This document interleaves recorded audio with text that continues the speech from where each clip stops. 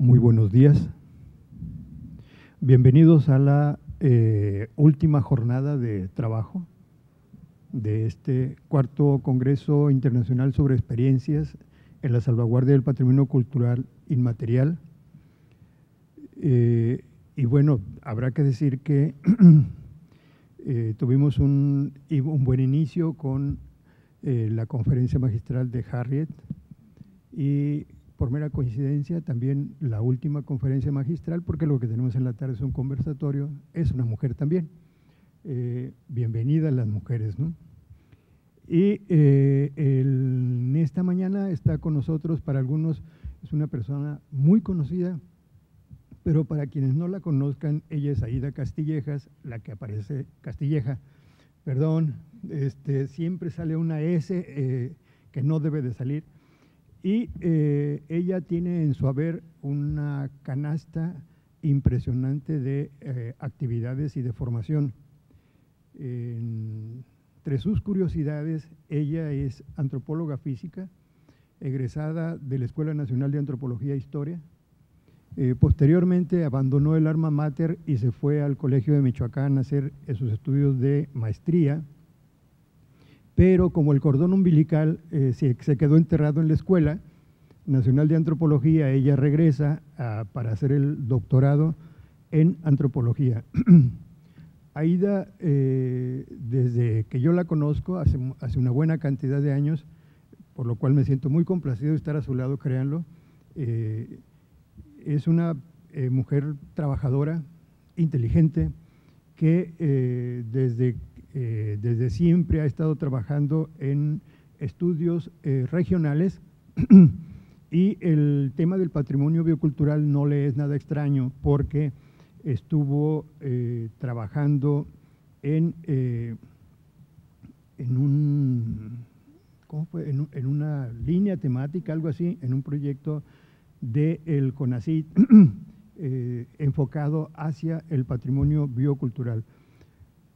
Eh, además, eh, ella encabezó eh, hasta que sus obligaciones y su compromiso con el instituto se lo permitieron a tiempo completo, ¿sí? el equipo Michoacán del proyecto Etnografía y las regiones indígenas y estuvo al frente no tan solo de la etnografía, sino de una cantidad impresionante de publicaciones de ese equipo, ensayos, tres, de ellos en colecciones, si mal no recuerdo, aparte una serie de participaciones en, materiales de revisión bibliográfica sobre Michoacán. Y bueno, tiene de publicaciones que eh, valdría la pena este, darnos una sesión de una horita para leerlas todas y nos faltaría tiempo. Entonces, eh, atendiendo al tiempo que se nos eh, asignó, me gustaría Eh, dar eh, paso a eh, sus palabras, que yo creo que es a lo que venimos. Entonces, Aida, tenemos dos tiranos, uno de color amarillo, uno de rojo. A los cinco minutos le vamos, a, a, trabajar 50 minutos de exposición, 10 para, para que haya posibilidades de intercambio con los asistentes. Aida, muchísimas gracias por haber aceptado la invitación a nombre de todo el comité académico y del comité organizador. Adelante. Gracias. Gracias, eh, Hilario. Gracias a todos ustedes por estar aquí. Eh, quiero agradecer a los organizadores la oportunidad de compartir con ustedes algunas reflexiones en torno a lo que se suele llamar patrimonio biocultural y que entramos en campos, en ámbitos en donde la intersección de disciplinas, de quehaceres, pero sobre todo de problemáticas y retos, eh, se torna eh, por demás eh, importante, por demás necesario para realmente llegar a una reflexión, no solamente en términos de conceptos, sino en torno al quehacer de este gran campo que se llama patrimonio biocultural. Eh, como comentaba Hilario, eh, yo formo parte desde 2010 que inició de una red temática del CONACIT que se llama Patrimonio Biocultural de México, en el que participamos eh, biólogos, geógrafos, y uno que otro antropólogo ahí que nos hemos interesado mucho en estos temas. Em, quiero también comentar que el programa de esta cuarta edición del Congreso, desgraciadamente no pude estar los días anteriores, me habría encantado, pero eh, revisando el programa, revisando algunos textos eh, sobre este Congreso sobre experiencias en la salvaguardia del patrimonio cultural inmaterial, muestra con creces la manera en la que se ha ampliado y diversificado la investigación y las experiencias de protección, investigación y gestión del llamado patrimonio cultural inmaterial, de sus retos y de sus perspectivas. Evidencia también lo que Antonio Arantes ha señalado de manera muy pertinente en, en, cuanto a que en todos estos, esta constitución de patrimonio cultural inmaterial o cualquiera de sus vertientes, tienen detrás de sí procesos de mediación, mediación en la que gestores, investigadores, los propios portadores, somos corresponsables en la definición de este gran campo de trabajo, de este gran campo de estudios. Procesos, por supuesto, de los cuales formamos parte los investigadores y las instituciones. Eh, para empezar a hablar de lo del patrimonio biocultural voy a ir cambiando como de escala, de escala macro a escala micro, porque así es como, podemos asirlo de mejor manera. México, como ustedes saben, ha sido reconocido como un país megadiverso, tanto por sus condiciones naturales como culturales. Comparte esta característica con un grupo de no más de 10 países de Asia, África y de América del Sur, en cuyos territorios confluye la presencia de un importante número de lenguas indígenas una amplia diversidad biológica que incluye alta proporción de especies endémicas y que es explicable por conocimientos y prácticas de semidomesticación y de domesticación de largo cuño que los constituye en centros de origen, que también los constituye en centros de origen de la agrodiversidad.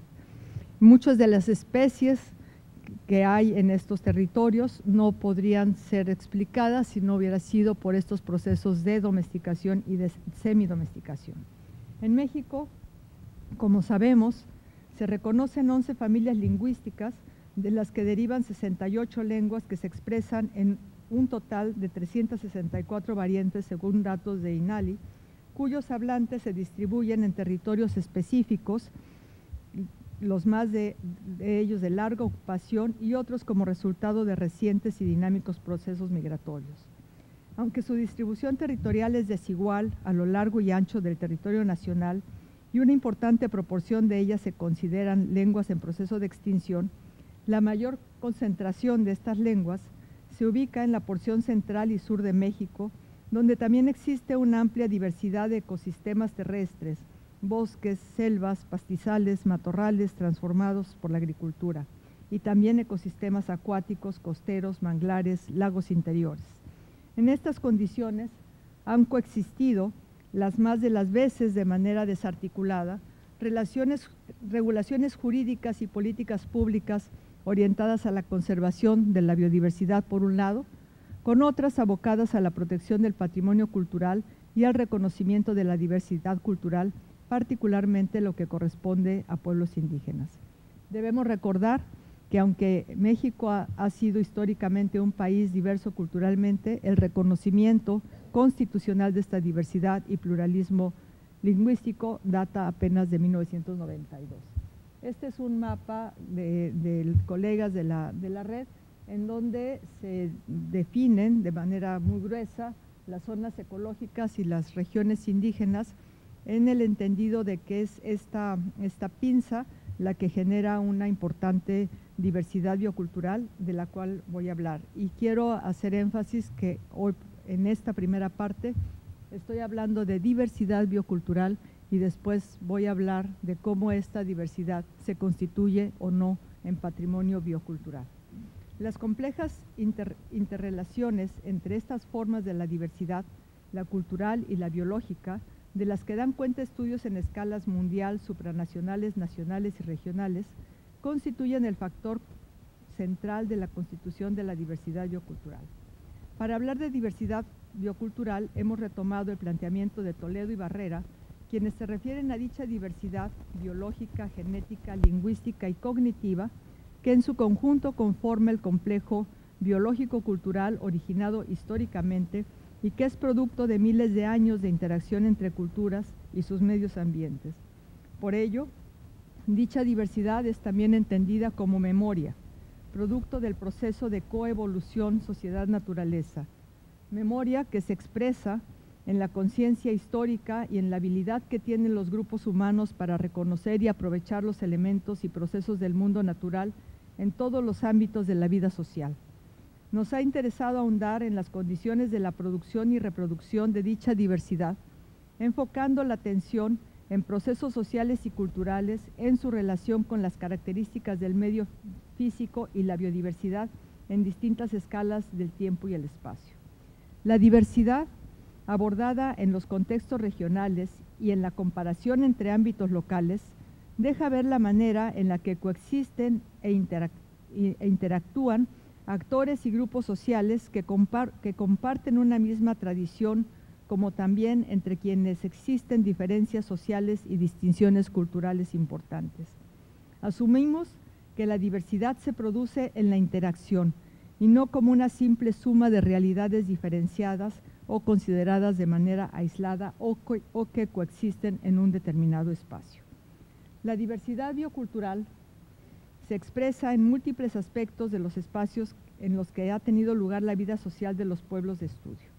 En las concepción, la, diversidad biocultural no es solamente la generación de nuevas especies, como sería claramente el maíz, sino la, la diversidad biocultural también se expresa en las concepciones del mundo en la manera de explicar los cambios en el clima y la regeneración de la naturaleza, en la manera de ocupar y transformar los espacios, en la incorporación de, lugares significativos, en la producción de diversidad a través de prácticas selectivas de cacería y recolección, prácticas de cultivo que implican la domesticación, la semidomesticación de ciertas especies y de manejos incipientes, en explicaciones también sobre cambios en la abundancia o escasez de la flora o fauna como consecuencia de un agravio o de a la naturaleza expresado con ello la cualidad volitiva de la naturaleza.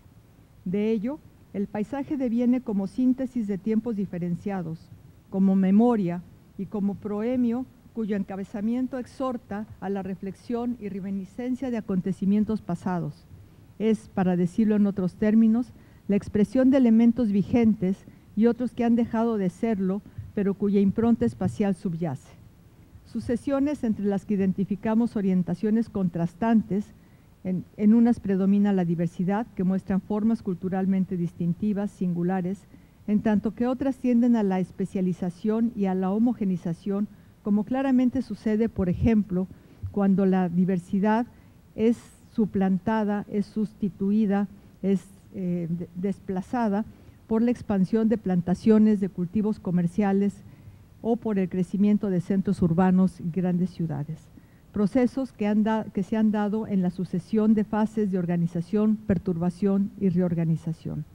Aquí, por ejemplo, hay, una, bueno, hay, hay algunas imágenes, las dos de arriba, entiendo que si le apachurro en algún lado sale la luz. Bueno, en las dos de arriba son parte de un, ritual, son rituales de iniciación, de cacería, más que de cacería, son de eh, recolecta de panales silvestres que van aunados también a la habilidad de seleccionar de los animales del bosque eh, aquellas especies que acompañan, que suelen acompañar a los nidos de abejas, de abejas silvestres.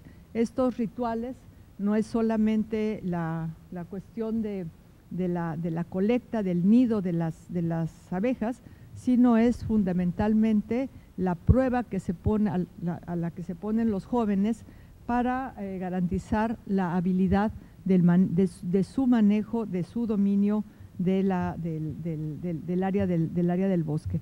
Pero más que un dominio en una relación asimétrica, es en una coexistencia en donde siempre hay elementos de reciprocidad y en donde hay resignificaciones importantes.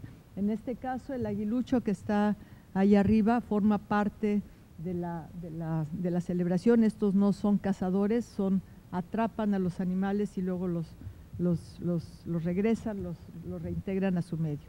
En el caso, aquí pues vemos que no, no se trata necesariamente de la interpretación de la diversidad biocultural como es interpretada como la generación de una especie, sino es sobre todo la generación de concepciones distintas frente al medio, frente, a la, frente a la naturaleza. Eh, no hay una transformación en, en, estricto sentido, pero sí hay una eh, eh, formulación de concepciones del mundo y de relaciones que vinculan a la, naturaleza con la sociedad. En el caso de abajo es el cambio de cargo en un, de un pueblo otomí de la, del, oriente de Michoacán, en donde el lugar en donde se lleva a cabo estas, este, este, este, este, cambio de cargo tiene que ser en el monte, porque es ahí en donde están los ancestros y son ellos quienes atestiguan y dan la, legitiman la autoridad que es transmitida. ¿no? De, manera, y, aquí es en donde desde la antropología esto por supuesto que forma parte de esa diversidad biocultural en tanto que es una, eh, una manera de constituir y de significar un espacio eh, en, este tipo de, acciones.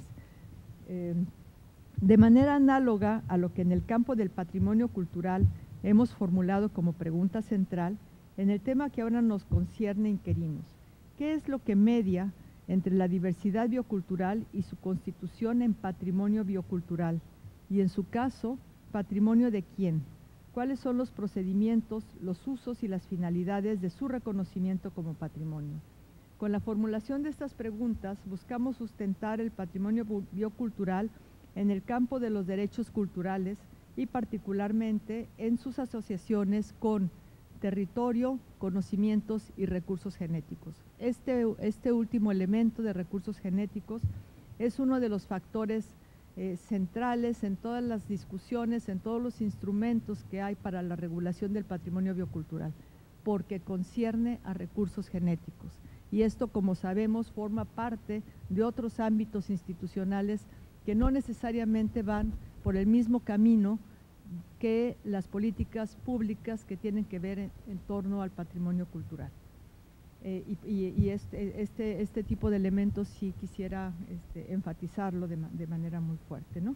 Territorios y conocimientos, digamos que forman parte de, la, de la jerga del patrimonio cultural, pero cuando hablamos de recursos genéticos, ahí entramos a otro campo de regulaciones y si el, y el patrimonio biocultural lo mismo que el patrimonio cultural, pues están insertos necesariamente en procesos de políticas públicas y de regulaciones oficiales. Esto debería conducirnos a una discusión en torno a factores y contextos en los cuales estas diversidades se interrelacionan en tiempos y condiciones específicas. Tiempos que no solo derivan de la conservación o fortalecimiento de la diversidad, que suele reconocerse de manera positiva, sino también procesos de pérdida, despojo y deterioro que detonan, aunque no siempre, procesos de protección y defensa y con ello delinean el carácter patrimonial. Uno de los, de los factores que, hemos considerado que define el campo del patrimonio biocultural es que este sentido surge en y a partir de procesos de defensa de procesos de protección, de procesos de organización en torno a la defensa de eso que se considera eh, propio. Em, condiciones que no, eh, decíamos, no solamente derivan en esto que se reconoce de manera positiva, sino que derivan sobre todo de procesos de despojo, procesos de defensa y con ello delinean, decíamos, este carácter patrimonial. Eh, las variedades, por ejemplo, las variedades de maíces nativos son un destacado ejemplo del carácter generativo de la relación entre la diversidad cultural y la biológica. Sin duda, el maíz es por excelencia ese resultado de la diversidad biocultural. La diversidad de maíces nativos ha sido protegida y defendida de diferentes maneras. Ha sido defendida por procesos que han llevado a la siembra permanente de variedades demostrando y mostrando que la domesticación es un proceso incesante. Los maíces también se han, protegido, se han protegido en la coexistencia de la milpa, pero también su desplazamiento por tierras dedicadas a monocultivos comerciales o por cambios en los usos del suelo ante la expansión urbana, pero también ha habido eh, formas de protección en la, defensa de los maíces frente a la expansión de cultivos de maíces genéticamente modificados. Y aquí vienen otros elementos de la, del, cómo emerge el, patrimonio biocultural, que es la articulación entre diferentes actores, no solamente los, los agricultores, no solamente quienes cultivan el maíz, sino también la academia, también organizaciones no gubernamentales, también agrupaciones de la sociedad civil, y esto configura un mapa de actores eh, que eh, van siempre en el acompañamiento de estos procesos de patrimonialización en el caso de la diversidad biocultural. Desplazamiento que ha modificado de manera sustancial sistemas agrícolas y sistemas agroforestales de largo cuño como lo vemos en el sistema chinampero de Xochimilco, por ejemplo, sistema que está con problemas importantes, aun cuando ha sido reconocido y protegido por instrumentos internacionales como las nominaciones de Patrimonio Mundial o de manera muy reciente el sistema como CIPAM, que es el sistema importante de Patrimonio Agrícola Mundial, que es una distinción de la FAO. Esto es bastante este, relevante porque esta, esta forma del patrimonio como agrosistema ya no es solamente objeto de su reconocimiento como patrimonio natural o como patrimonio cultural, sino tiene de suyo la dimensión de la producción. Y eso nos parece que es un, elemento sustantivo cuando hablamos del patrimonio biocultural que se vincula directamente con la forma de producción y con la posibilidad de mantener vigentes estos agrosistemas, estos sistemas agroforestales. En la, en lógica cultural de los pueblos indígenas, la relación entre naturaleza y cultura, naturaleza y sociedad, es una condición inherente a la manera de concebir el mundo en la que suele primar las relaciones de reciprocidad. La disociación entre los elementos componentes de esta diada no suele hacerse presente en, estas lógicas culturales, como sí sucede en contextos económicos y políticos, en los cuales los recursos naturales y la fuerza de trabajo son entendidos como eso, como recursos, como mercancía, como bienes sujetos al control gubernamental, produciendo tensiones, disputas y conflictos frente a pueblos indígenas. Las tensiones y disputas sobre el uso de los recursos definen relaciones entre distintos grupos sociales respondiendo a lógicas culturales contrastantes que tratándose de recursos genéticos abre otras arenas de confrontación en el contexto global. Condiciones que han debilitado las modalidades de propiedad o control de bienes en propiedad común frente a instrumentos jurídicos en materia de propiedad intelectual y patentes orientadas al fortalecimiento de la industria, por, en este caso, de la industria farmacéutica de manera muy puntual. Existen normas o proyectos de normas, de, una norma que ya existía, pero es un proyecto que, se, que ahí ha quedado, solamente lo menciono, un proyecto de norma oficial mexicana que establece o que busca establecer criterios para realizar el aprovechamiento sustentable de los recursos forestales no maderables existentes en los ecosistemas forestales, bosques de clima templado frío, selvas y zonas áridas y semiáridas. Son especificaciones técnicas que incluyen especies utilizadas para la elaboración de productos artesanales, para el consumo y para el uso medicinal o de construcción. Estas normas, si bien eh, pueden tener una, tienen su lado virtuoso, también son normas que imponen modificaciones y restricciones a las formas propias en las que los pueblos indígenas manejan con sus propias eh, formas de derecho consuetudinario el acceso a los recursos del bosque. En alguna ocasión estábamos en un taller revisando estos, estos instrumentos, esta, esta norma, y era para evaluar qué impacto tendría la restricción de la recolección de ciertas plantas para la práctica de la, medicina tradicional. Eh, una, una abogada que estaba llevando el taller les preguntaba a los médicos, a los curadores que estaban en el taller, que a quién le pedían ellos permiso cuando iban a colectar las plantas. Y una de ellas dijo de manera muy franca, pues a la planta, ¿no? O sea, yo no le pido, ella no, ella no, no estaba no, no pensaba que se estaba esperando una respuesta de que voy y le pido permiso a, a tal o cual funcionario, sino yo le pido permiso a la planta porque yo trabajo con ella. ¿no? Entonces hay, hay esta, esta, esta relación. Yo no voy, ella decía, no voy a no voy a colectar o a cortar más de la cuenta, yo sé cuánto tengo que cortar, yo sé qué parte de la planta tengo que cortar para que la planta siga, siga existiendo. Y si la planta no está bien, si la planta no me ayuda a trabajar, entonces sí la corto porque es una planta que en ese momento ya no está sirviendo, ¿no? ya, ya, ya, cumplió su, ya cumplió su ciclo. Entonces estamos hablando de otras lógicas en la regulación de, esta, de este uso de la, de la, de la naturaleza. ¿no? Em, de, la misma manera, pensando en, en, estos, en estas regulaciones que hay, por ejemplo, de la pesca en el lago de Pátzcuaro, pues hay una norma para la pesca de, de, aguas, de aguas interiores, sobre todo en ese vaso, que es muy importante, que tiene o solía tener hasta nueve especies eh, endémicas muy importantes que se eh, acabaron, se tienen una merma muy importante por una por la introducción de una especie exótica que en aras de elevar la productividad lo que hizo fue acabar con la diversidad natural, la diversidad de las especies nativas. Y eh, don Andrés de Ciróndaro, un pescador, él también me decía que, es un sentido similar al de Adelaida cuando, cuando comentaba de la planta. Y don Andrés decía que pues a él, él aprendió a pescar viendo a los pececitos.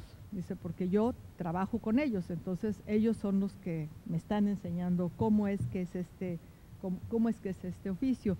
Pero la indagación iba más allá, en tanto que la laguna, por ser este, agua, agua, agua interior, eh, pues está también sujeta a regulaciones y preguntábamos a quién le pertenecía la laguna, que a quién le tenían que pagar para poder tener acceso, porque teóricamente se tiene que pagar un derecho de acceso a la laguna.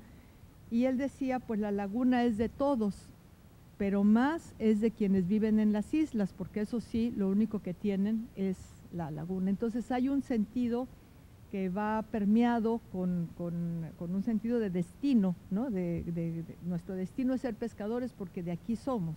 Entonces ahí hay un elemento de identidad que como vamos a ver eh, al, entrar en el tema de territorio, esto es lo que va generando un sentido de pertenencia que es lo que los, los, genera en ese horizonte normativo. Eh, así, por ejemplo, dada la importancia del conocimiento tradicional como factor de la diversidad biocultural, de manera recurrente se le ha atribuido una dimensión patrimonial traducida jurídicamente en términos de derechos de, propiedad intelectual colectiva en, régimen, en regímenes eh, conocidos como sui generis, cuyas implicaciones en la vida social de los pueblos indígenas y en la relación de estos con las sociedades regionales y, nacionales de las que forman parte merece ser analizado. Esta cuestión de la propiedad intelectual sin duda es una de las dimensiones muy importantes a atender cuando hablamos de patrimonio biocultural. Em, el tema de la diversidad biocultural ha tomado relevancia en los últimos años como una vía para la comprensión de las complejas relaciones entre la biodiversidad y la diversidad cultural en contextos culturales situados temporal y espacialmente de manera singular. El campo de los derechos de los pueblos indígenas y de los derechos culturales, como son los derechos eh, colectivos, está, digamos, en diferentes ámbitos hablando de la, de la, diversidad biocultural. Por supuesto que uno de los instrumentos internacionales que regulan estos, estos elementos tienen que ver con el convenio de la diversidad biológica signado en 1992 y que ha tenido sucesivas eh, ratificaciones, y con él el protocolo de Nagoya que sustenta el artículo 8J de dicho convenio, justamente para dar cumplimiento a la definición de las regulaciones respecto a los conocimientos asociados a recursos genéticos y a los derechos a la consulta y al consentimiento previo, libre e informado, con todo lo que implica eh, y, que ha sido también cuestionado el protocolo de Nagoya. Pero también existen estos otros instrumentos internacionales que son más afines a lo que aquí se ha estado, eh, al tema que aquí se ha estado tratando, que, es, como todos ustedes saben, la Convención sobre la Protección del, del Patrimonio Mundial Cultural y Natural de 1972 y la Convención para la Salvaguardia del Patrimonio Cultural Inmaterial de 2003. En esta, en esta convención, por supuesto que hay muchos de los elementos que cabría perfectamente ahí el patrimonio biocultural. El punto aquí nuevamente es pensar en que ese patrimonio incluye también la dimensión de los recursos genéticos y eso nos coloca como en, otros, en otras formas de, regulación. Eh, incorporan también todo esto otros actores entre los cuales el reconocimiento y disputas en su consideración como patrimonio no son de ninguna manera inocuos. Este tema ha tenido eco en el ámbito académico, en instrumentos internacionales, en la legislación y políticas públicas federales y estatales, y en organizaciones de distinta índole, incluyendo particularmente las de pueblos indígenas. Esta superposición de legislaciones, regulaciones e instrumentos internacionales ha transcurrido en caminos paralelos, muchos de ellos no se tocan, a veces sin resonancia de unos sobre otros, pero también dando lugar a transiciones importantes en la concepción del patrimonio. Les señala que el reconocimiento del patrimonio cultural inmaterial ha dado, entre otras, entre otras vías, lugar a una importantísima transición que ha llevado de la protección del objeto a la salvaguardia del proceso. Es de una visión estática se ha pasado a una visión dinámica del patrimonio. Pero ¿cuáles son los factores que median entre la diversidad biocultural y su constitución en patrimonio biocultural? Sabemos que tratándose de patrimonio cultural, estos factores son la selección, la finalidad de esa selección, la identificación de quién en, tanto actor social hace la selección, sea desde adentro, desde los propios portadores, sea desde lo propio o sea desde, desde otro. El otro que se desdobla en académicos, en instituciones, en regulaciones oficiales.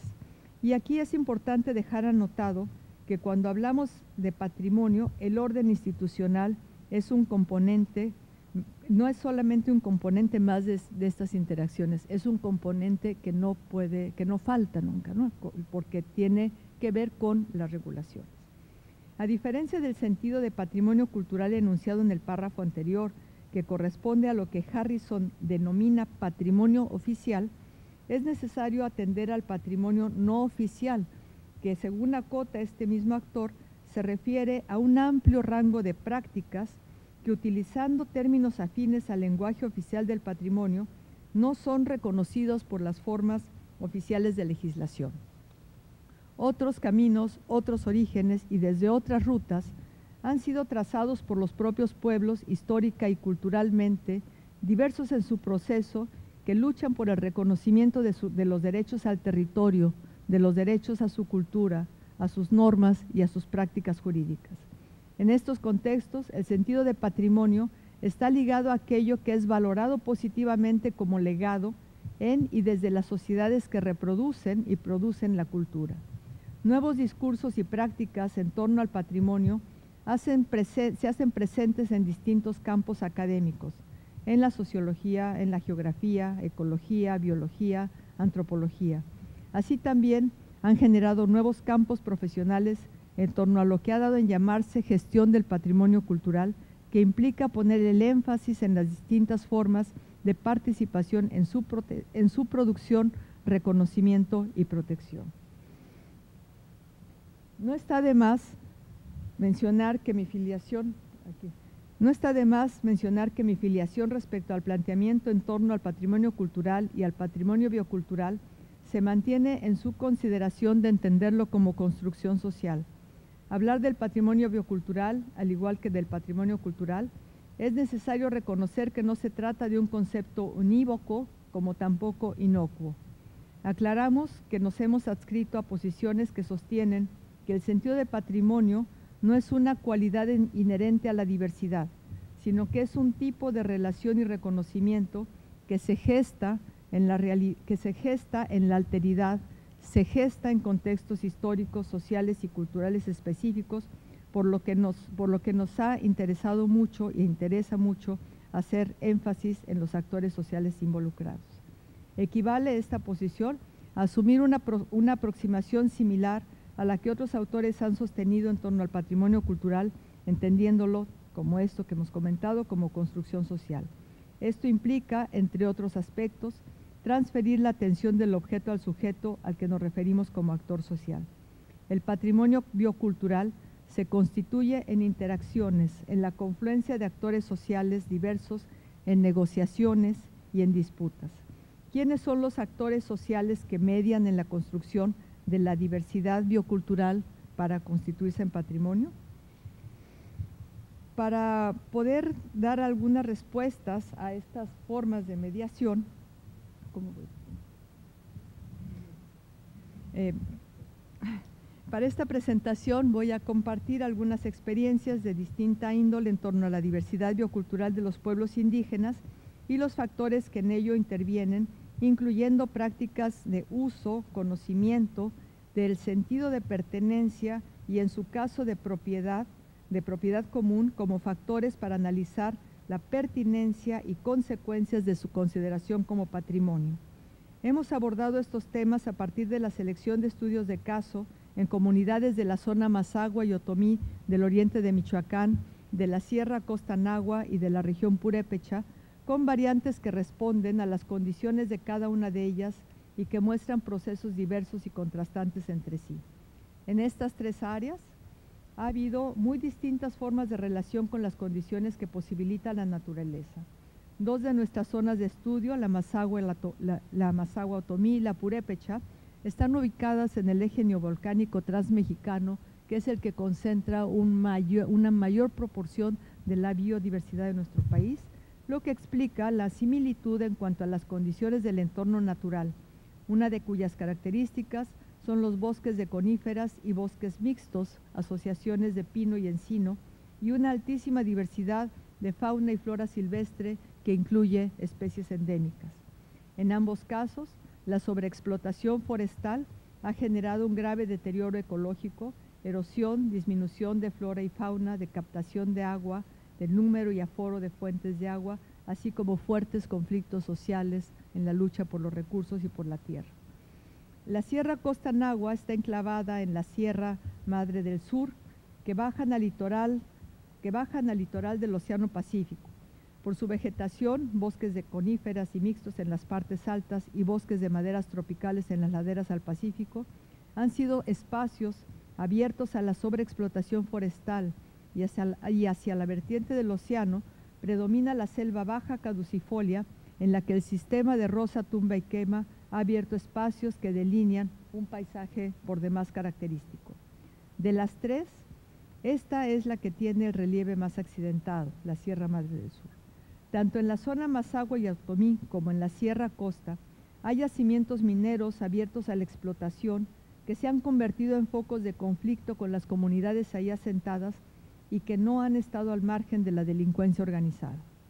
En cada una de estas zonas existen formas particulares de hacer y de apropiar el territorio, de concebir y relacionarse con la naturaleza, de organizarse, de identificar y de llevar, tener control sobre aquello que, asumiéndose como propio, puede o no protegerse o defenderse.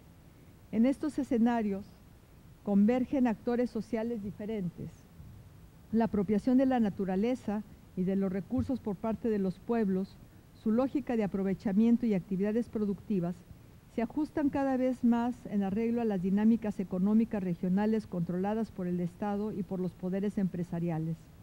Los pueblos purépechas, nahuas, mazaguas y otomíes sostienen experiencias de defensa frente a iniciativas externas que sustraen lo que las familias y comunidades consideran como propio en virtud de la concesión o custodia establecidas por el tiempo.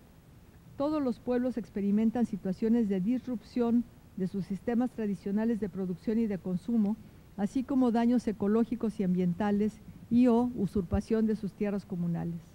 Frente a los requerimientos que impone la modernización y la economía de mercado, todos implementan estrategias políticas y económicas compensatorias, lo cual, en mayor o menor medida, impacta en las culturas productivas locales, sean agrícolas, forestales, pesqueras, cazadoras o recolectoras.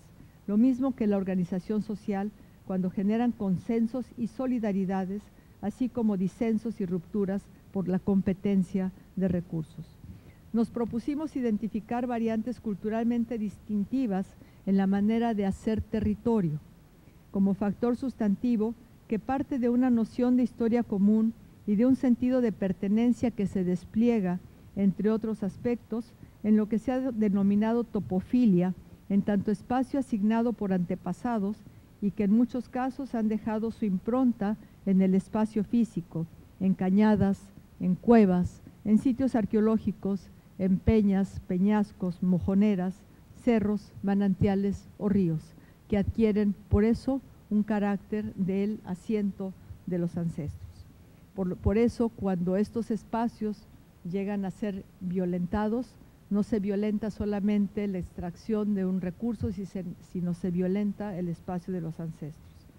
En los procesos que abordamos, entre otros elementos, están involucrados cambios en los sistemas de producción agrícolas, ganaderos, forestales, acuícolas y su orientación hacia finalidades fundamentalmente comerciales en detrimento de organización que habían coadyuvado al autoabasto basado en la, diversidad, milpa, huertos, cacería, casa, casa recolección y una gran diversidad de cultivos en los huertos y en los traspatios, garantizando así su orientación a la alimentación de los grupos domésticos, incluido el sistema de intercambio en el ámbito microregional. Estos sistemas de abasto y autoabasto tienen que ser analizados no en la escala estricta de un espacio doméstico, sino en un ámbito más amplio, no solamente local, sino también microregional, sobre todo por el tipo de intercambios y las relaciones que se mantienen.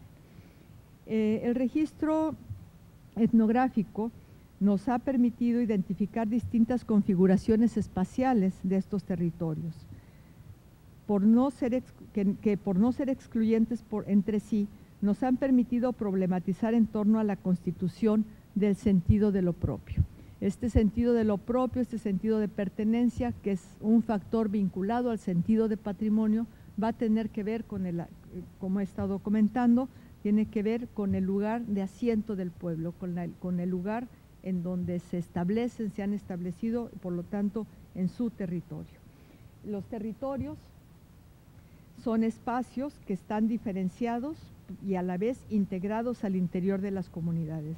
Es una diferenciación marcada por las formas de tenencia de la tierra y las prácticas jurídicas en el acceso al territorio, a las parcelas agrícolas, a los bosques parcelados o de uso común. Resistencia o adhesión total o parcial a procesos de certificación en tierras ejidales es uno de los de las digamos de las expresiones en las que cómo se cómo se consideran cómo se incluyen las regulaciones que ha impuesto el Estado en, materia de, tenencia de la tierra. Pero también en, estas formas diferenciadas e integradas de los territorios eh, están interactuando formas de control y decisiones en torno a fuentes de agua, sobre todo aquí me refiero al caso de la meseta de la zona purépecha, en donde el agua es un bien escaso. Entonces los mecanismos de regulación pero los y los mecanismos de control y acceso al agua son elementos que dinamizan la vida de las comunidades y que se han eh, modificado de manera muy importante, decíamos, por la deforestación. ¿no? Esto ha llevado a la horadación de pozos profundos y de ahí para adelante. La significación y prácticas rituales asociadas a elevaciones prominentes o sitios particulares como cañadas, malpaíses, peñas o barrancos se mantienen vigentes y en muchos de estos casos se, llevan a cabo también rituales no solamente propiciatorios, sino también rituales de desagravio. ¿no? Cuando hay una cuestión de una quema excesiva del bosque, cuando, como en el caso que voy a comentar, en uno de los pueblos de la sierra, en Cherán, que hubo una, una gran, eh, pues hubo una devastación del bosque por parte de la delincuencia organizada, la comunidad llevó a cabo rituales para reapropiar, reapropiarse de sus, de sus, no solamente de su territorio, sino para el desagravio de las entidades que viven en estos lugares. Eh, otra, otra de, las, de las formas que se expresa en, en, las, en los territorios que ya no es una cuestión de integración, sino es una disrupción, es la disputa entre comunidades y el Estado. Linderos y mojoneras en conflictos intercomunitarios son un factor que limita el sentido del territorio en niveles que rebasen estrictamente lo comunitario. Esto también nos lleva a, repensar si realmente los territorios, la, la lógica de los territorios, puede llevar a una forma de organización que rebase el ámbito estrictamente local, y eh, que pueda circunscribirse a otros, a otros ámbitos. la cuestión de los conflictos por la tierra sin duda es un factor que, limitante de, esto. Eh, aquí, aquí vimos, entre otros casos, la, tala clandestina, robo de madera, que lleva también consigo una, una disminución muy fuerte, una pérdida de recursos no maderables de estas áreas forestales que son importantísimos para los sistemas alimentarios locales. Pero también vemos eh, otros elementos que tienen que ver con las diferencias en las, formas de acceso a la, tierra, que son las condicionantes en el caso de las poblaciones otomíes y mazaguas del oriente de Michoacán, que es su colindancia o la, eh, sus tierras que están dentro de la poligonal de la reserva de la biosfera de la mariposa monarca. ¿no? Entonces ahí vemos nuevamente otro campo de interacción entre, entre, entre formas de control, formas de, formas de acceso, que también limita el uso y la defensa de los manantiales. Esto lleva a la vez, porque también, como todos sabemos, las comunidades no son homogéneas ni es miel sobre hojuelas, lleva también a conflictos por accesos diferenciados a los beneficios de programas públicos. Em, y el, otro, el otro elemento que era muy interesante fue cómo se concibe la laguna, en el caso de Pátzcuaro, que es un terreno, es un territorio, o sea, está concebido por supuesto también como territorio, en donde es indivisible, pero no es indiferenciado y ahí el acceso a la laguna está totalmente regulado por normas consuetudinarias a las que no les hacen cosquillas, ni siquiera cosquillas, las regulaciones eh, oficiales coexisten, sobreviven con, ellas, pero se, se mantiene de manera muy fuerte el derecho al acceso a la laguna como un derecho primordial de los pueblos que la habitan y sobre todo de los pueblos de las islas. En ningún caso, decíamos, se trata de realidades homogéneas, ni social ni culturalmente, ya que se han originado y cursado por procesos de diferenciación intra e intercomunitaria, lo que ha, lo que ha derivado en la coexistencia de lógicas culturales distintivas.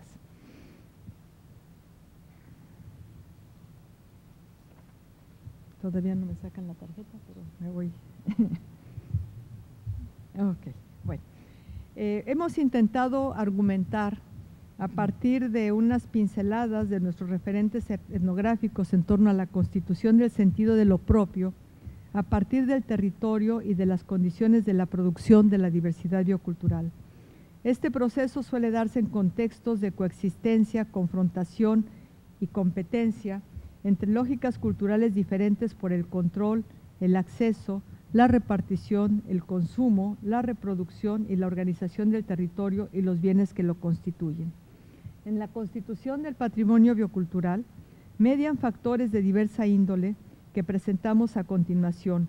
No está de más mencionar que cada uno de ellos tiene implicaciones particulares si estos son asumidos, si estos son asumidos desde lo propio o desde la otredad.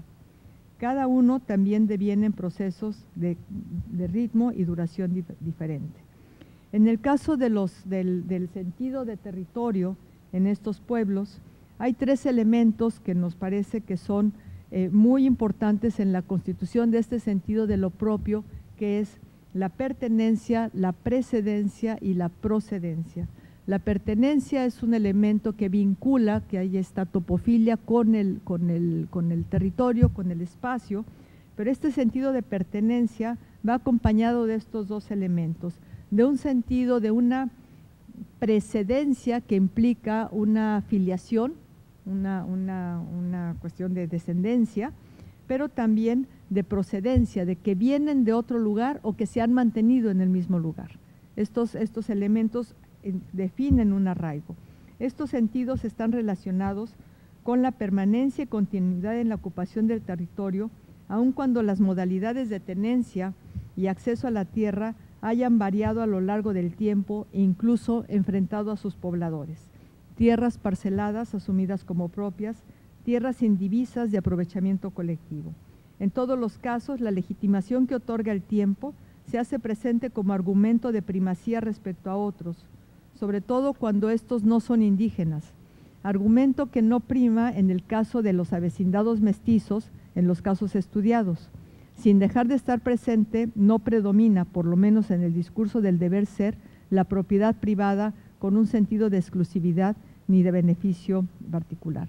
Otro de los elementos que está vinculado justamente con el sentido de patrimonio es la herencia, el legado y la transmisión. ¿no? Son, son, son sentidos que sí son afines a las lógicas culturales que eh, en términos analíticos lo traducimos como patrimonio, aun cuando en sus concepciones este sentido, este, este vocablo ni existe, así como tampoco existe el de bosque, ni el de naturaleza. Esos son nuestros inventos. Eh, eh, como ya veo que la tarjetita se está acercando, eh, voy, a, voy, a, voy, a, voy a cortar. Esta, esta otra, esta otro sentido de pertenencia también se construye, se configura y se modifica en contextos de valoración, de protección, pero también de despojo en contextos de crisis y de deterioro. Estos son también elementos que movilizan que activan el sentido de patrimonio, el sentido de lo que es nuestro en cuanto que somos despojados. Esto sucedió de manera muy clara en este pueblo que les había comentado inicialmente, en, Cherán, en donde el bosque estaba totalmente parcelado, estaba roto al interior. Eh, cuando viene un proceso muy, muy, muy difícil, muchos de ustedes lo conocerán, eh, lo que llega, llega a un punto, eh, por una intromisión de la delincuencia organizada, que la comunidad se, se, unifica y reconstituye en el sentido del bosque como aquello que les pertenece. Ahí el bosque reconstituyó un nosotros y ese nosotros es lo que permitió una defensa de otras formas de incluso de organización y de gobierno al interior de la comunidad.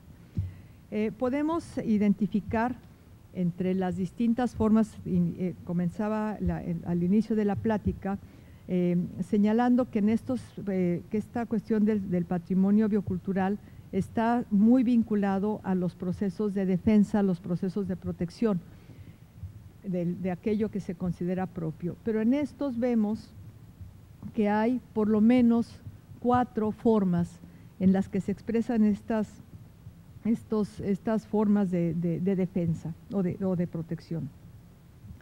Algunos, algunos de estos procesos son silenciosos y son procesos de larguísima duración, con o sin confrontación que configuran un sentido de lo propio basado en prácticas jurídicas y normativas de acceso y control de recursos y territorio. se, fraguan en la explicación en función de concepciones del mundo en las que la reciprocidad rige como principio ético de la relación con la naturaleza y con la sociedad. Otros procesos de, protección, de defensa, que no son necesariamente silenciosos y algunos de estos coexisten, son, los, son aquellos procesos de defensa detonados en crisis o coyunturas, en donde hay mayores enfrentamientos y fragmentación de espacios sin que resulten en cambios sustanciales de la relación en la constitución de un sentido de lo propio puede haber solamente estas fases como de reorganización al interior. pero también se fraguan en negociaciones recurrentes con el Estado, procesos de mediación que limitan la organización y la autogestión para el acceso a determinados elementos de su entorno, de su biodiversidad, de sus territorios. En estas, en estas negociaciones emergen actores sociales en la intermediación, como son proyectos y programas como reforestación, proyectos y programas como el mejoramiento de las condiciones del lago o pago por servicios ambientales. Son otras mediaciones que surgen en esta relación con la, para el control. Negociación que suele constituirse como un factor de mediatización y también como un factor de desmovilización. Y el otro, otro de, los, de, las, de las formas que adquieren estos procesos de defensa son la reconstitución de territorios a partir de conflictos y formas nuevas de organización, apelando a los usos y costumbres en distintas condiciones históricas que como comunidad indígena le corresponde frente a un orden institucional. En este tipo de confrontación, la dimensión patrimonial del territorio como recurso colectivo de movilización, como instancia de toma de decisiones y de control social, se erige, sin duda, como un recurso político de primer orden en la defensa de lo que les es propio. Para, para cerrar y ya evitar que me pasen la otra tarjeta, eh, voy, a, voy a hacer como un salto mortal, pero espero que no se corte el sentido de, la, de lo que hemos venido conversando. Eh, si bien cuando hablamos de los derechos bioculturales compartimos la convicción de que por principio la diversidad biocultural no puede desvincularse de las sociedades y culturas que la han hecho posible y que por lo tanto debería reconocerse y regirse en el marco de los derechos colectivos, también es cierto que no podemos dejar de lado la importancia de instrumentos internacionales, leyes y disposiciones en la materia que por parte del Estado mexicano coadyuvan, deberían hacerlo, al reconocimiento y la protección de la diversidad biocultural. En estas consideraciones tampoco podemos dejar de lado que dadas las actuales condiciones de crisis ambiental, de pérdida de biodiversidad y de diversidad cultural, el modelo económico de la producción de alimentos y patentes en la industria farmacéutica, por ejemplo, o de expansión de los mercados mundiales, de despojo histórico que se hace presente en conflictos y disputa por los territorios, por los recursos naturales y la cultura, la discusión en torno al patrimonio biocultural debe nutrirse del análisis de procesos tanto en ámbitos locales como regionales y nacionales. Para cerrar, me interesa dejar anotada una reflexión. No podemos dejar de lado el quehacer de nuestra institución, del Instituto Nacional de Antropología e Historia, en materia de patrimonio cultural, que día a día nos muestra que esta tarea debe ser asumida a la luz de procesos que evidencian la multiplicidad de condiciones y actores que convergen en aquello que llamamos patrimonio cultural y que en muchos casos, más que su fortalecimiento, apuntan a su vulnerabilidad. Acercarnos a la diversidad biocultural a partir del abordaje del territorio ha sido una, una vía que nos ha generado respuestas sobre aspectos diversos referidos a concepciones, a formas de apropiación y prácticas locales del territorio según diferentes dimensiones y escalas.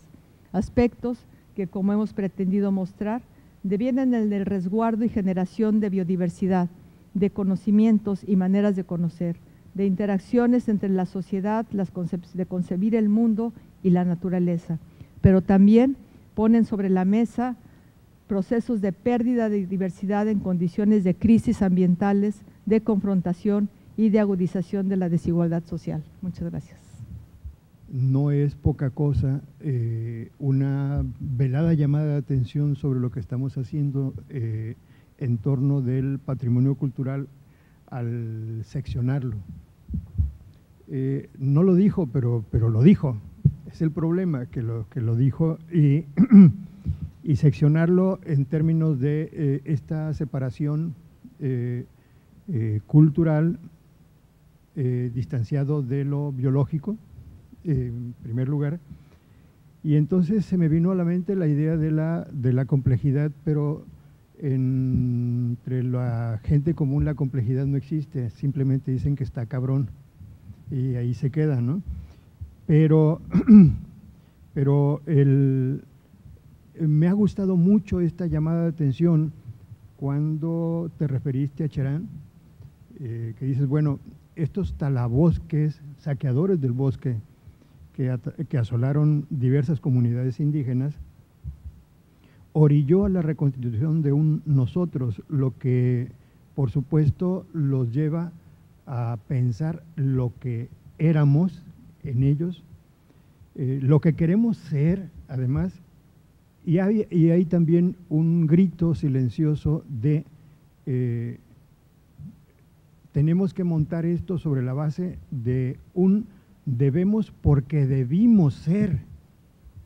O sea, como una especie de autorrecriminación del abandono, del abandono de esto que les daba sentido colectivo. Me gustó mucho esa idea, pero eh, no es el caso de que yo haga otra ponencia, sino el caso de que eh, los que están asistiendo puedan eh, expresar sus opiniones, dudas, aclaraciones, reclamaciones, eh, mentadas de menta, eh, si es que las hay para degustarlas. Adelante, eh, tenemos micrófono por allá, ¿verdad? bueno, a mí me parece que mencionaste una parte muy importante en la cuestión de los patrimonios no oficiales. Y creo que eso se ha, se ha discutido y debatido poco, ¿no? Estamos yendo mucho a lo que la oficialidad dice que es patrimonio, pero justamente lo no oficial a mí me parece que está aquí y bueno, obviamente la, presentación no va a tocar todo, ¿no? Pero cómo trabajar con eso de lo no oficial, desde lo biocultural, y lo pienso mucho desde las ciudades, ¿no? Porque lo que estás presentando es más enfocado a los territorios, donde evidentemente está una amenaza sumamente fuerte, fuerte pero que eh, en las ciudades, ¿qué pasa con lo biocultural? Pareciera que no existe y que no tenemos derecho a tener un patrimonio biocultural en la ciudad. Ayer caminábamos este, buscando un cajero y el sol era intenso y todo era cemento y cuando vimos un árbol estaba mucha gente abajo del árbol reunida y bromeamos, el árbol tiene que ser patrimonio cultural, ¿no? Entonces, en las ciudades también tenemos derecho a esa bioculturalidad y cómo eh, la, la tenemos que recrear y defender. Y otro ejemplo que me parece también dentro de lo no oficial y lo con, vinculado justamente a estas cosmovisiones de pueblos indígenas es, por ejemplo, la cuestión de los ecuaros, no sé si lo pronuncio bien, ecuaros, ¿no? los estos eh, pues patios ¿no? donde se cultivan y donde son las mujeres quienes cultivan las plantas medicinales, de ornato, ¿no?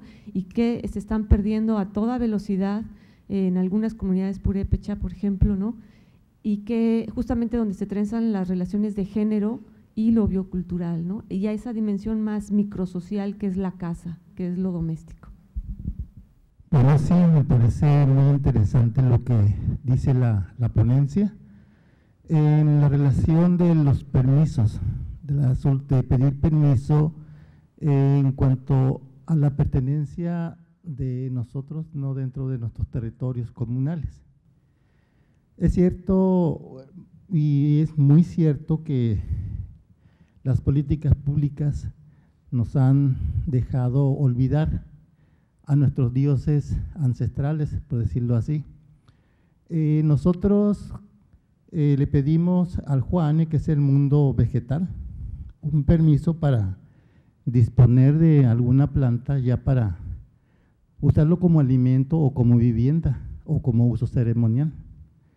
Ahora ya no es posible en diferentes áreas no de nuestro territorio, porque ya intervienen las políticas públicas como ecología, que no nos permite cortarlo porque no tenemos el permiso oficial.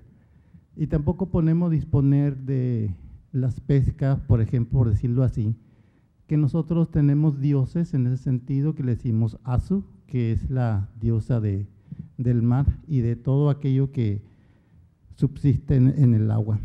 Antes nosotros pedíamos el permiso a nuestro ASU para poderle solicitar eh, la pesca para subsistir, para que viva nuestra familia y se alimente. Ahora no tenemos esa facultad, simplemente tenemos que ir a, otras partes de las autoridades pesqueras para poder pescar dentro de nuestro eh, territorio, por decirlo así. Es todo. usted comentaba, eh, bueno, en toda la presentación, estas distinciones que hay entre los conceptos, ¿no? que a veces eh, patrimonio eh, no existe en las comunidades, es otra conceptualización del entorno, ¿no? de cómo se apropia, de cómo se vive. Y en ese sentido me gustaría que comentara entonces, ¿qué sentido tiene las declaraciones de patrimonio cultural inmaterial cuando son eh, vidas totalmente distintas? Bueno, se entrelazan, pero tienen significados en la vida real muy distintas. Entonces, ¿qué sentido tienen estas declaraciones? Pues muchas gracias por las preguntas. Voy a intentar contestarlas, otras me las voy a llevar como reflexión porque son, esta última es de las muy centrales, ¿no? Cómo es que, que traducimos, ¿no? Desde las investigaciones, desde las instituciones, elementos a los que se les pone ese nombre, pero que tienen o no correspondencia, pero que al mismo tiempo, al, instituirlas, ya estamos generando ahí un proceso de mediación y de modificación muy importante. Eh, yo me acuerdo en, trabajo en la Universidad Intercultural de Michoacán, un tiempo di clases allá, y les preguntaba a mis alumnos qué era para ellos qué era su cultura. Y me respondían prácticamente como un folleto PACMIC. Mi cultura es la gastronomía, la danza, el baile, ¿no? O sea, ya era una descomposición, una fragmentación y era con conceptos que no son los propios. Entonces, estas, estas formas de reglamentar, de regular, también van a tener una incidencia en lo que se concibe como la cultura. Y así como no hay el sentido, de, no, hay el, no hay la palabra patrimonio, pero sí hay un sentido de patrimonio que desde mi punto de vista está mucho más vinculado al sentido del legado aquello que me dieron y de lo que soy responsable para transmitir. Esa, esa parte me parece este, importante porque, nuevamente decíamos, las políticas y los instrumentos no son inocuos, ¿no? o sea, tienen una incidencia y configuran, y por supuesto que entonces se va a buscar fragmentar y clasificar y sobreclasificar algo que de suyo es un componente muy integrado. Y con esto voy un poco a lo que comentaba Hilario. ¿no? Eh, en todos estos procedimientos, sin duda, la clasificación y la de poner las cosas de un lado y de otro, pues funciona en términos analíticos. El punto es cómo reintegrar en la concepción básica. Les voy a comentar dos, dos enseñanzas para mí muy fuertes. Estamos hablando entre que lo cultural y lo natural, ¿no? Y estando justamente en el análisis de, la, colecta esta de nidos de, abejas silvestres, em, le preguntaba, tenía el, lobón, el, nido, y le preguntaba a, uno de los, de los que lo colectaron, ¿y esto qué es? ¿Es animal o vegetal? ¿No? Para mí era importante esa distinción, porque bueno, pues el lobón pues es, está hecho de tierra, está hecho de plantitas, pero si no hubiera la intermediación de la abejita, pues no existiría. ¿no? Entonces, ¿es animal o vegetal? Y me dice, ¿qué preguntas te haces? Es así como cuando ustedes separan entre la naturaleza y la cultura. O sea, fue así como, pues sí, o sea, están, están eh, la, la el, gran reto es, después de esas formas de clasificación, cómo reintegras. Es muy importante en términos de políticas públicas la clasificación patrimonio cultural material, patrimonio cultural inmaterial, pero qué tanto esas distinciones en las distintas formas de patrimonio inmaterial o ahora del patrimonio biocultural, ¿no? ¿Qué tanto no estamos operando en una fragmentación de algo que no necesariamente nos va a llevar a lo que buscamos, que es la protección. Proteges un pedacito de una cosa, proteges un pedacito de otra. Yo creo que son cosas que habría que, ver. Eh, respecto a lo, que comentaba Georgina, este, de, lo, de este patrimonio no, no oficial y en el caso de las ciudades, yo ahí lo que preguntaría más es si hay derecho a ese patrimonio biocultural, es quiénes son los sujetos de ese patrimonio, ¿no? Como para pensar quiénes son los que van a hacer o a rehacer esa diversidad biocultural que se constituye en patrimonio. ¿Cómo es? Yo, pienso que ahí hay que hacer más la pregunta hacia los actores sociales que constituirían o reconstituirían un sentido de algo común, pero no, no sé si por ahí, si por ahí iría. Eh, en esta cuestión de lo, de lo, de lo transgénico que comentaban, eh, tiene que ver un poco con esto de la manera como se hacen las palabras, ¿no? Eh, sin duda, por, por, lo menos hoy por hoy, el maíz transgénico está ahorita detenido, ¿no? Ya no, aquí en México, digo, a reserva de esta parte de cultivos experimentales. Pero lo que es muy delicado es que son términos a los que los agricultores se están acostumbrando y ahora a las, a las formas de maíces mejorados que, siempre, que han existido ya como política agroalimentaria de tiempo atrás, pues para ellos son transgénicos, ¿no? Cuando realmente vayan a llegar algunas especies transgénicas ya ni siquiera van a este, hacer caso de eso porque pues ya, ya lo, ya lo ya internalizan, o sea, que tanto estos conceptos se internalizan y, se, y modifican después la, la, la, acción. ¿no? Eh, en estas, estas cuestiones eh, de, lo de, la, de, lo de, las, eh, de, los, de los permisos, ahí es en donde justamente eh, considero yo en, en esta la, la, distinción entre cuál es la instancia a la que se le pide permiso, cuando se le pide permiso a las entidades del bosque, a las entidades del agua, ahí hay de suyo mecanismos de regulación, ahí hay de suyo mecanismos de sanción. Esas son las que están, las que han permitido que todo esto se proteja y que todo esto siga existiendo. ¿En qué momento hay un rompimiento absolutamente total y se convierte solamente en una leyenda? Ya deja de ser una práctica de una regulación interna. Eh, creo que sería este básico. Bueno, pues eh, es una lástima tener solamente este tiempo. Ojalá que tengamos oportunidad de leer tu texto en extenso y, y dialogar un poco más. Y bueno, eh, muchísimas gracias, Aida. De verdad, eh, yo quedé encantado con tu eh, charla y en nombre de Lina, de la ENA, del de CRIM, UNAM, de eh, Culturas Populares, del Gobierno del Estado y de todos los que están detrás de, de la organización este, Ángeles, Arcángeles y Querubines eh, y, al, y al propio, pues muchísimas gracias y una felicitación.